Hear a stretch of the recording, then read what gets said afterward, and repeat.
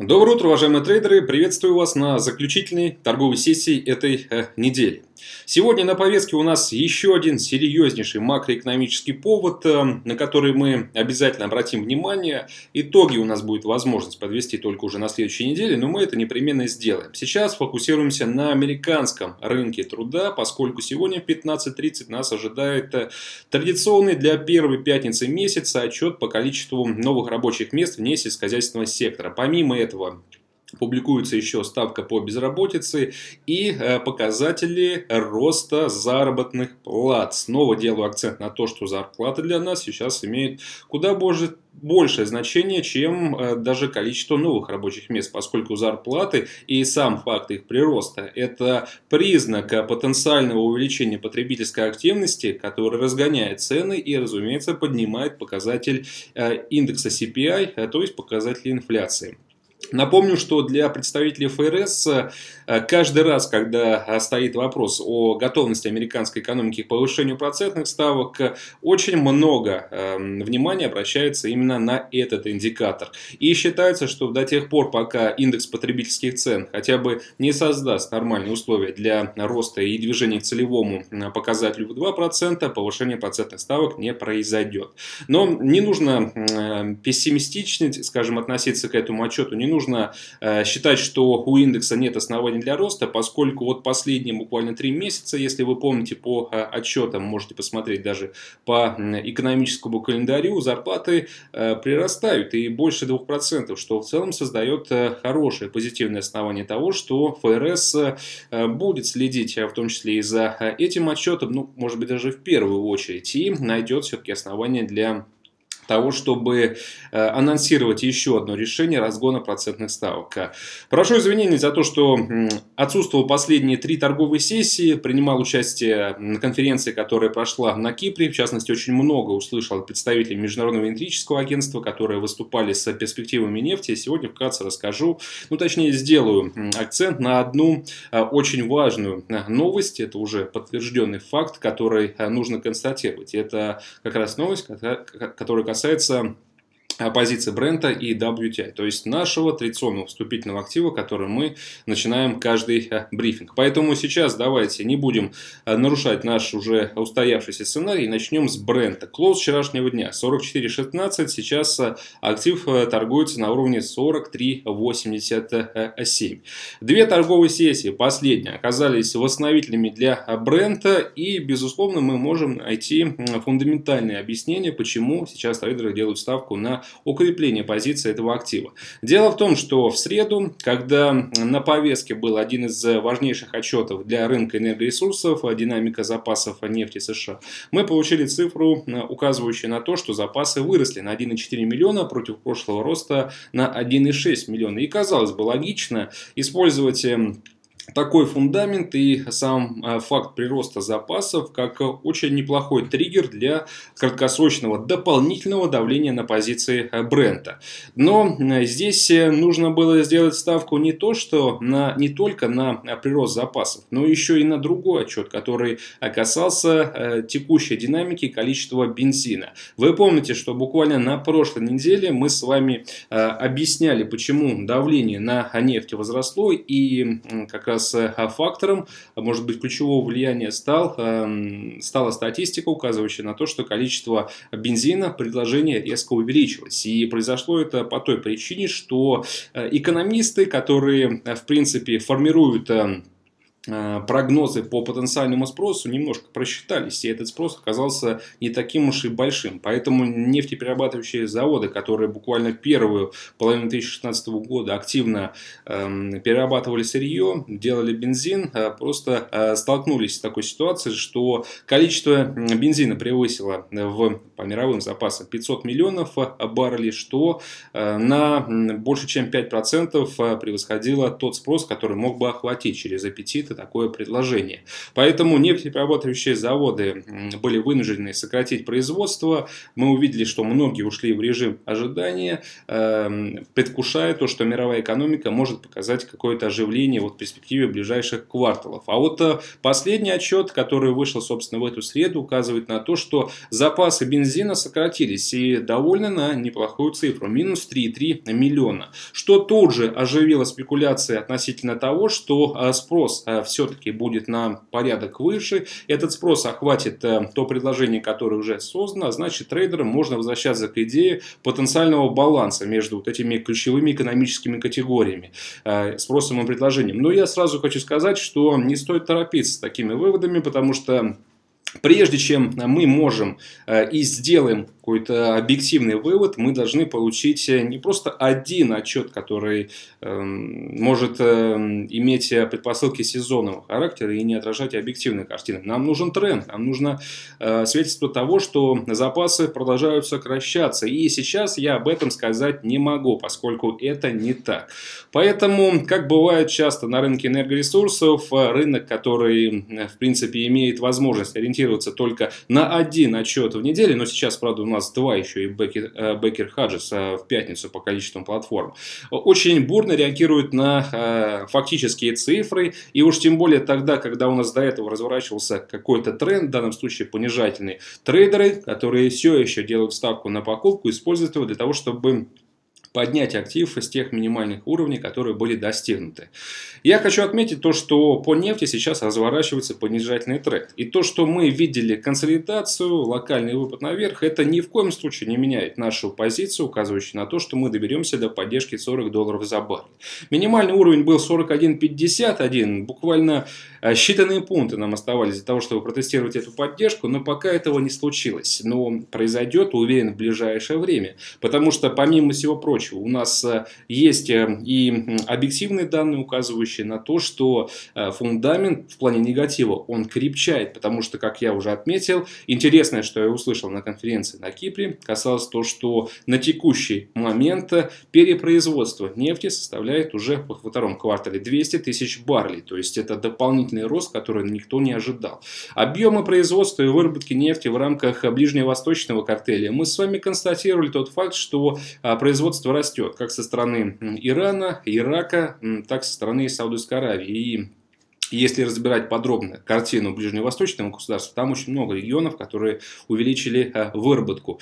И на текущий момент, если объединить все производство в один показатель, э, это э, уже порядка 33 миллионов баррелей в сутки. Эм, не что иное, как максимум в новейшей истории. Это ключевой посыл, на который мы сейчас, исходя из долгосрочных оснований, просто обязаны делать ставку, понимая то, что бренд, он обречен на еще большую просадку и снижение. И то снижение, которое мы наблюдали до этого, это как раз а, а, та самая реакция трейдеров, которая была а, основана и м, связана с фактом переизбытка, перенасыщения э, нефти мировой экономике и недостаточным спросом. И все это подогревается еще тем Э, опять же, теми цифрами новыми, которые мы получаем со стороны ОПЕК, то, что производство продолжает расти, и мы делаем параллельно с этим ставку на то, что мировая экономика ослабеет. Это действительно так. Поэтому наша главная идея, идея она остается буквально на флаге нашей, э, нашего инвестиционного подхода к э, определению будущего для черного золота. И мы продолжаем снижаться вниз, делая ставку на то, что бренд доберется до 40. Я очень надеюсь, то, что дополнительно дополнительный э, стимул эм, для нефти, дополнительным стимулом а, выступит еще а, сильная американская валюта, которая по факту последнего EDP и вчерашних заявок на пособие по безработице может дождаться поддержки со стороны Non-Farm Payrolls. И я по-прежнему надеюсь на то, что в пятницу мы получим еще один сигнал роста количества платформ США, что окажется уже таким замыкающим новостным поводом э, для того, чтобы ослабить позиции бренда и снова вернуть его ниже 40 43 долларов за баррель. Российская валюта сейчас котируется на уровне 65.84, хай был 67.50, к сожалению, дальше рубль не девальвировался, но то, что он будет слабеть, это совершенно очевидно. Рублевая стоимость барреля нефти на текущий момент находится чуть ли не на многомесячных минимумах. Если мы классически перемножим актуальные котировки на премаркете и, соответственно, текущие цены на нефть бренда, получим рублевую стоимость одного барреля черного золота бренда 2888 рублей. При этом минимальным достаточным для того, чтобы российский бюджет хоть как-то сводил концы с концами, хотя, наверное, эм, даже 3200 рублей будет уже маловато. Но все равно мы видим то, что больше, чем на практически на 20% мы сейчас не дотягиваем до минимальных нормативных э, показателей. Соответственно, вывод какой?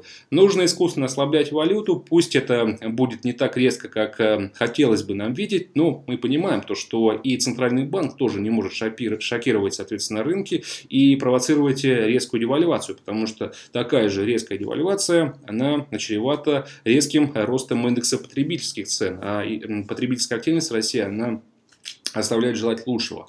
Поэтому мы ждем, привыкли уже это делать, ждем пусть и монотонной, но все-таки ослабления рубля с периодическим, может быть, резким ходом, но он будет направлен на тестирование ближайшего сопротивления 68 рублей против доллара. Стоит ли заходить сейчас в пару, либо интересоваться физической покупкой валюты стоит, потому что у нас э, впереди возможно потенциал ослабления больше 5%. То есть э, для краткосрочной сделки, даже через физическую покупку валюты, это хороший профит, э, за который можно зацепиться.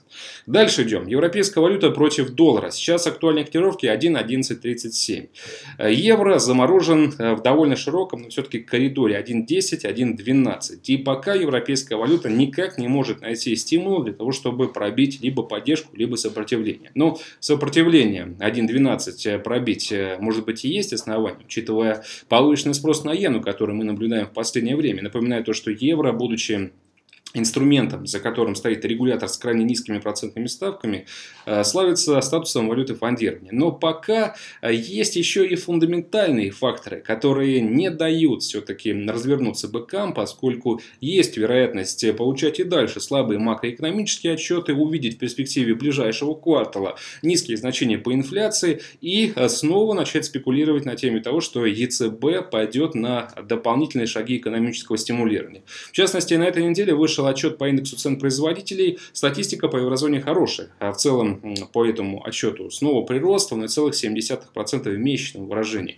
И это все отголоски недавнего восходящего тренда по э, черному золоту. И сейчас мы видим то, что нефть уже неплохо провалилась, поэтому, э, учитывая задержку, временную, временной лаг, мы дождемся отдачи, опять же, снижения цен на нефть, снижения цен на энергоносители, на показатели инфляции спустя а, полтора-два месяца. И я считаю, то, что месяц у нас уже прошел, поэтому мы в следующем готовимся к тому, что индекс потребительских цен в рамках еврозоны может снова уйти ниже нуля. И тогда разговоры о том, что ЕЦБ поддержит э, агрессивный э, подход э, экономического стимулирования, э, поддержит э, позицию вот Банк Англии, которая была озвучена вчера, и также создаст условия для долгосрочного ослабления европейской валюты. Сейчас какой бы прогноз от крупнейших инвестиционных банков вы не посмотрели бы, никто, правда, не прочит до серьезного ослабления евро. Но то, что евро доберется до уровня 1.08, это как пить дать. я думаю, что произойдет это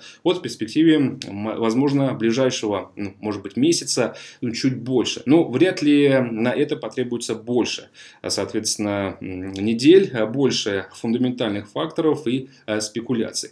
Давление на евро, оно остается. Мы понимаем то, что даже сильная иена не позволяет евро уйти выше сопротивления 1.12. Это большой показатель, который явно указывает на то, что евро может в моменте потерять очень много. И против европейской валюты действует еще и довольно неплохой макроэкономический фон из США, ну, по крайней мере, по рынку труда и недвижимости. Об этом мы еще поговорим. И также я хочу, чтобы вы делали ставку на то, что если на рынке отсутствуют убедительные лично для вас э, фундаментальные предпосылки для слабости евро, посмотрите на расхождение доходности американских э, трежерис и, соответственно, немецких бумаг. Вы поймете то, что она по-прежнему существенная и она по-прежнему позволяет делать большую ставку и провоцирует больше интереса именно к американским облигациям, что приводит к притоку средств и укреплению укреплению позиции доллара. Это еще один такой извечный фундаментальный посыл, который я доношу до вас и надеюсь, то, что многие из вас уже им руководствуются. Прямо открываете доходности соответствующих облигаций, смотрите, насколько изменилась разница за последние торговые сутки, если это краткосрок, ну, либо за последние недели для долгосрочных трейдеров, и можно торговать даже исходя из этого. Э, дальше идем. Фунт против э, американца. Э, хай буквально до четверга, который показал британец против доллара 1.3370. И как я вам и говорил, что ни в коем случае не нужно обращать внимание на локальный выпад, потому что фунт остается аутсайдером.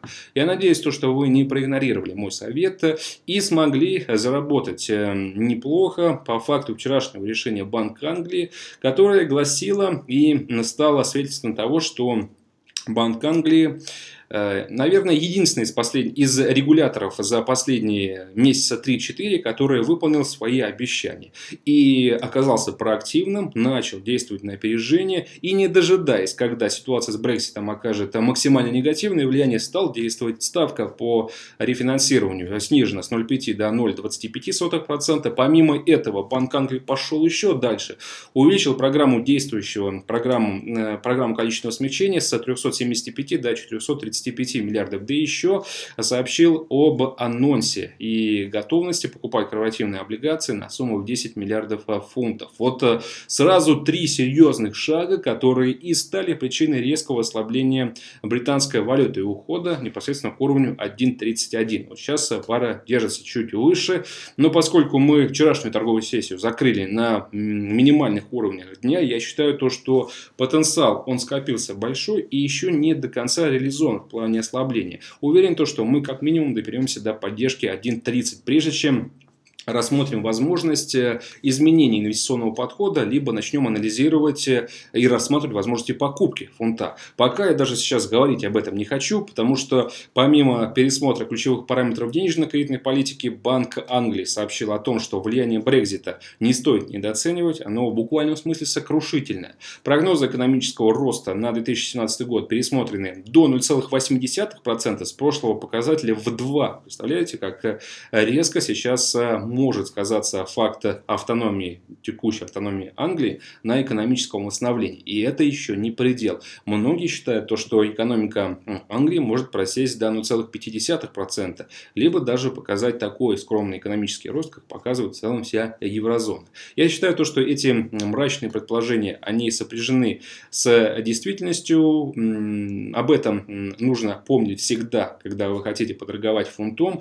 И всегда нужно понимать, что в любой момент момент фунт может оказаться под серьезным давлением, и вряд ли это у кого-то вызовет вопросы. То, что этот актив остается одним из самых волатильных, совершенно очевидно. Плюс ко всему, еще хочу отметить то, что решение по процентной ставке было по снижению принято единогласно.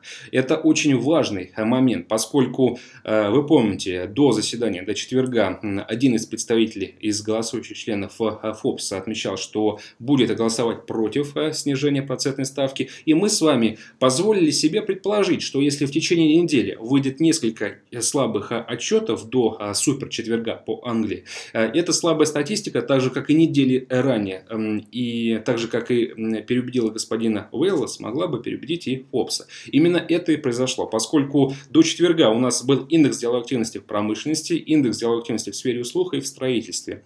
Э, все эти э, сферы просели, и в частности промышленности минимальное значение с 2012 года. Что касается э, сферы услуг, минимальное значение за последние 6 лет. И эта статистика, которая по сути повторила и слабые отчеты прошлого месяца, еще раз доказала то, что возможно возможно, Англия уже э, по этим секторам находится в состоянии рецессии, и картина дальше будет только усугубляться, поскольку до сих пор нет четкой дорожной карты, нет понимания того, с чем столкнется Англия в перспективе ближайших месяцев. То, что Банк Англии э, стал действовать сейчас, молодец. Это большая похвала им, поскольку именно такое решение проблем а в зародыше, как только они формируются, может иметь определенные плоды, поскольку промедление всегда чревато еще большим э, экономическим коллапсом и, соответственно, еще большим усугублением проблем. Яркий пример Банк Японии, который на протяжении последних, наверное, 25 лет уже борется с низкими значениями по инфляции и до сих пор считают то, что смогут справиться без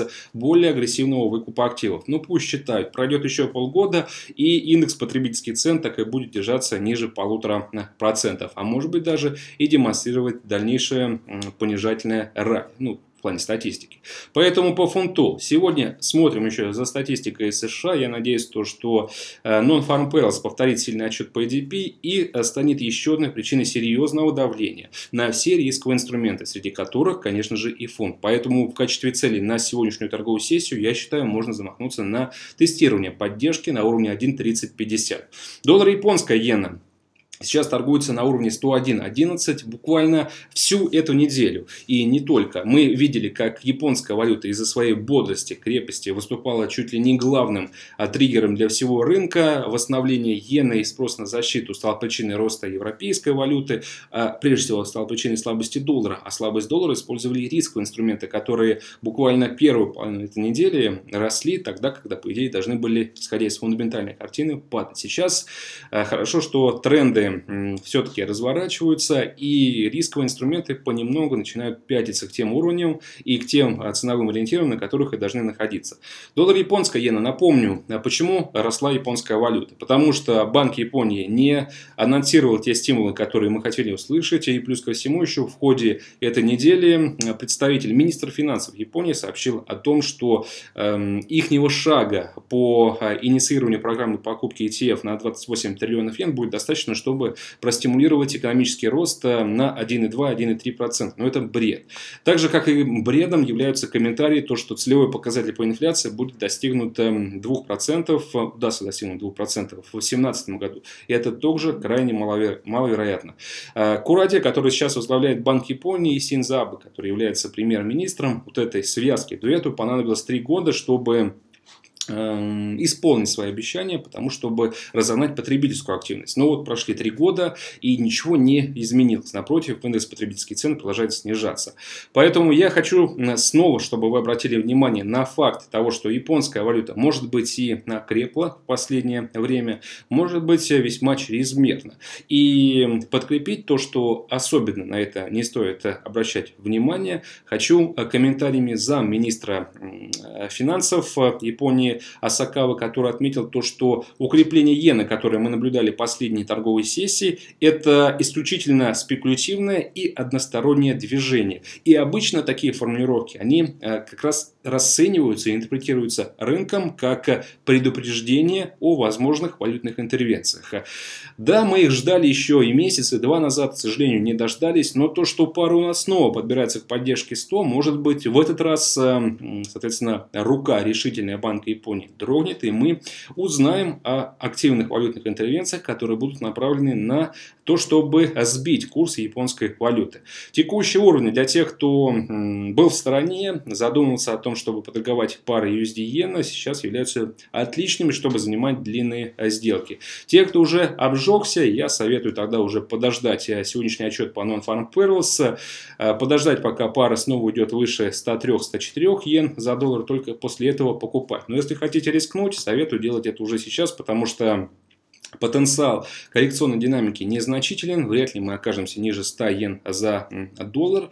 А вот потенциал э, прибыли, который можно получить, э, исходя из покупки, даже из расчета возвращения в районе 108 йен за доллар, он куда выше. Сегодня следим за Non-Farm Payrolls, это ключевой отчет по американскому рынку труда. Исходя из корреляционной связи и обычно схожих показателей с ADP, рассчитываем то, что и Non-Farm Payrolls не подведет. Параллельно с этим делаю ставку на рост заработных плат, что в целом может стать причиной э, повышенного спроса еще, а, соответственно, на доллар и поспособствовать тому, чтобы пара USD иена хотя бы снова оказалась выше 102 йен против американца. Я считаю, то, что это сопротивление мы сможем протестировать до конца сегодняшней торговой сессии.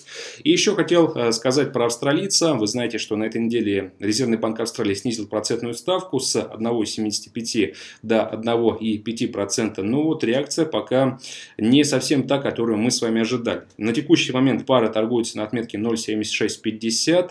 Э, и я считаю, то, что преимущественным образом это связано с э, восстановлением цен на железную руду, которая является главным экспортным товаром для Австралии. Но совершенно очевидно, что вот этот восстановительный импульс на рынке сырья вот-вот э, будет потерян.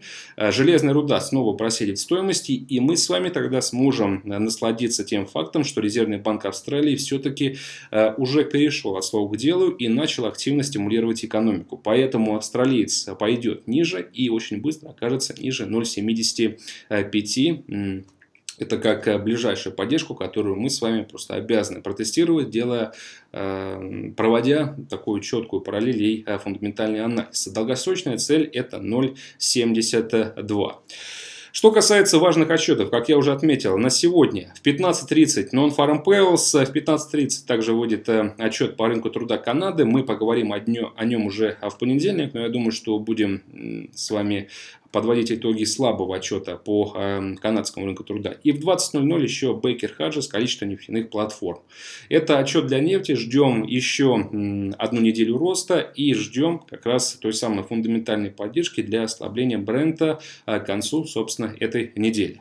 Кодовое слово на сегодня индекс. Величина бонуса 17%. Действует он до следующего брифинга, который состоится э, в понедельник. Я снова в строю, поэтому мы с вами увидимся в 9.30 в прямом эфире эфире, либо на вебинаре, который состоится в 16.30 по московскому времени. На этом, собственно, все. Э, хочу пожелать вам, безусловно, попутного тренда, э, безусловно, прибыльных и хороших э, сделок и, конечно же, хороших выходных. Всего доброго, до свидания.